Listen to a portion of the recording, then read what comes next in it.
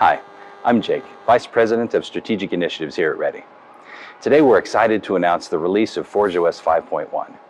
This new version of Forge has a number of new features and software improvements, including three-point frames, task transfer and remapping, the new Parameter Manager app, and a whole list of other software improvements. Let's take a look at some of these features. One feature we're excited to announce in ForgeOS 5.1 is three-point frames. This allows you to create a custom frame of reference in 3D space that the robot can base its motions off of.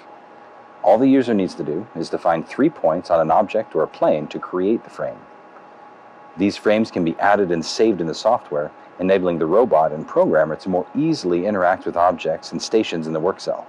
Another huge feature in ForgeOS 5.1 is task transfer and remapping. This feature allows you to backup, transfer, and create templates of your task canvas programs.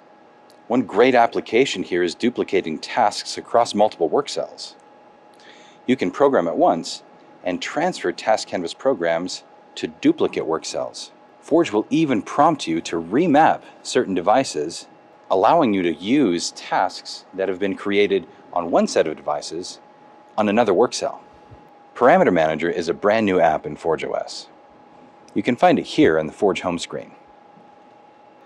Parameter Manager allows you to introspect all system-level parameters and variables across all configured devices in Forge, including the global user variables, parameters across all Forge applications, including Forge OS and Task Canvas, and all configured devices. Forge OS is the only robot-agnostic operating system for your industrial automation. And at Ready, we're committed to continually adding support for new brands.